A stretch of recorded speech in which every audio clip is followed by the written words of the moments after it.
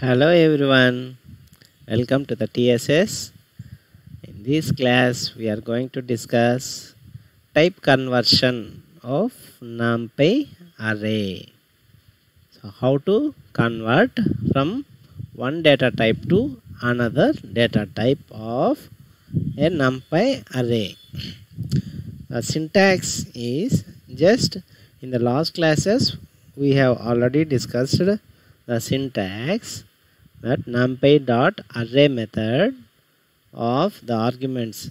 It will accept sequence and it will accept another argument as d type. D type means data type. By using this argument we will declare the type of the sequence which is to be converted as numpy array let us see one example friends. Here we took python lists nested lists as we had uh, took the same example in the previous classes also. And then we have imported numpy as np and then all the process are same just the change was happened here. np dot array of we had passed that list as a sequence and we are imposing one restriction here. D type is equal to we declare the data type which we require. That means the float or int or string or bool or object. These are the different data types. So if you wanna array to be float data type then you will give d type is equal to float. And if you wanna your array to be integer data type then you will give int. Same str and in the case of bool and in the case of object. Okay? Let's see one example. Say if you give d type as a float then the given sequence will be look like this. One dot say dot will come because it is a float dot. And uh, if you if you give the pure integer data type then if you as a sequence and then if you uh, pass float as a, a d type argument then the output resulting array will be look like this. Points will come okay? Because it's a float data type. It was converted to a float data type array. So d type of float 64 and then if you wanna mm, if you wanna give it as a float to integer then it will come. Defaultly if you give any uh, listed sequence defaultly it will it is it assumes as an integer type until unless your data is having point values okay? And then if you give your data type as str then the resultant array will look like this. Commas will come inverted commas will come to tell it is not a number it is a string. Okay? So this is about d type argument inside an array method d type argument explanation. Okay if you already having an array and if you wanna convert it okay you are not this is a part this is a declaration at the time of conversion a r r a y array. We are calling a method array from np okay? This is at the time of initializing declaring itself. But after declaring after array formation if you if a need arises like situations like if you wanna convert a data type to another data type then this method will help. Arr dot as type as type this method will help to convert an array data type from one type to another. Okay? So this is the brackets opening. And here you can give whatever data type target data type you need. Okay so this is the theoretical part and now we will see it in the Jupyter notebook. Let's switch over to Jupyter notebooks and here okay. Let's take it as the same example and delete unwanted cells up to here okay. We need to add some cells below okay. You click plus. New cells was added. Then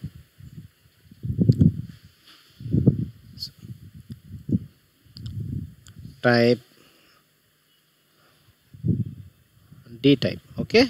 Array dot d type if you wanna know the array data type you call this method d type and run it see it is integer 32 and at the time of formation itself if you give additional d type argument and if you want it as a float float float then rerun this cell okay?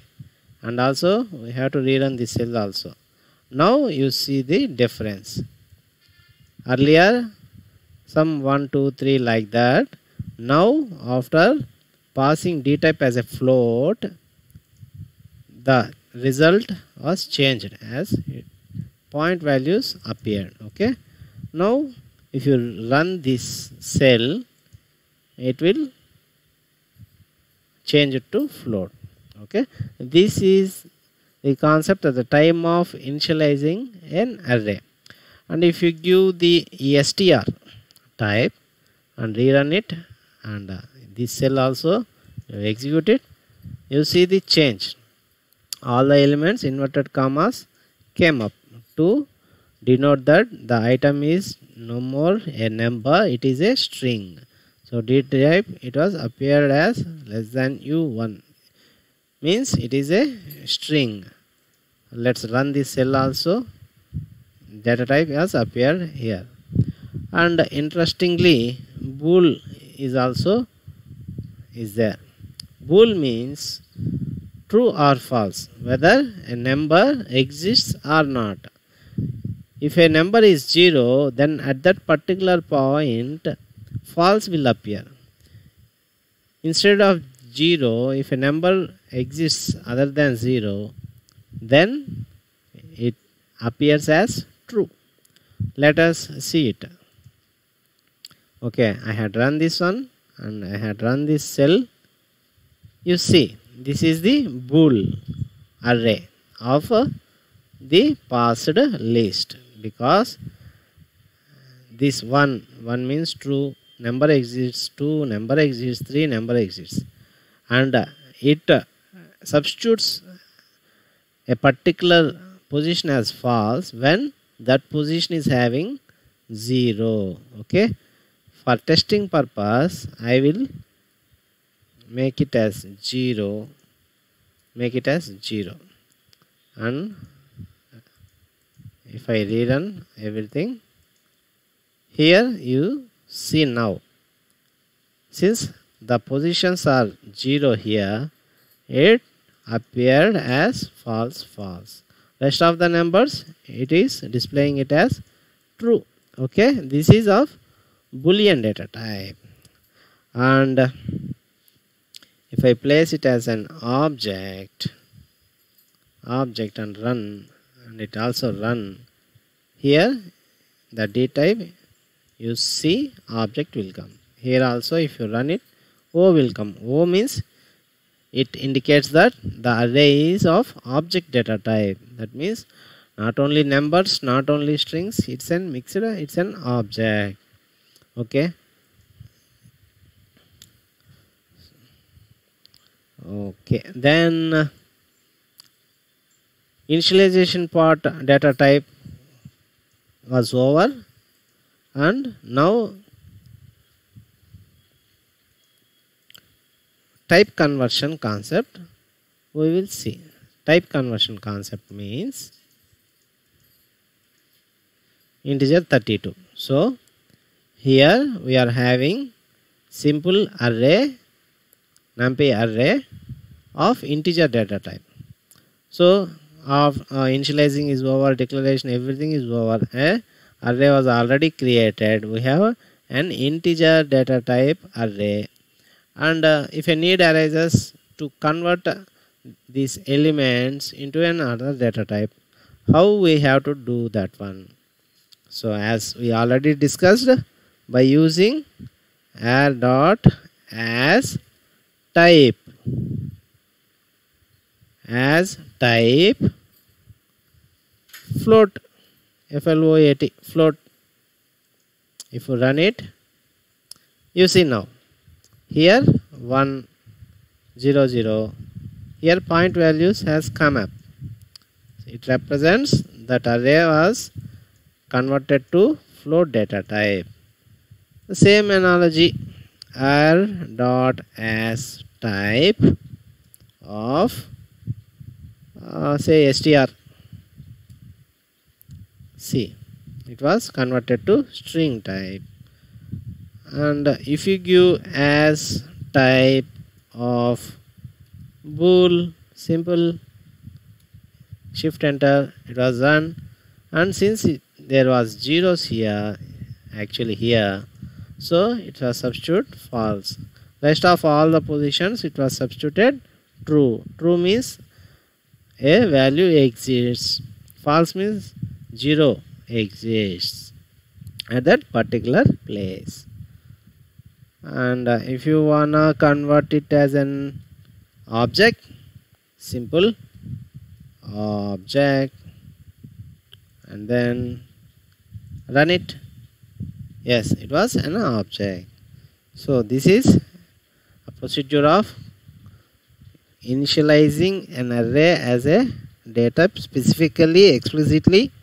If you design if you didn't explicitly mention it was taken implicitly as the passed sequence data type. And after declaration after uh, uh, array formation if you need to convert an array elements of one data type to another data type then you make use of as type method okay? So this is all about array type conversion friends. In the next class we will see some more topics. Till then bye bye yours Veera signing off. Thank you for listening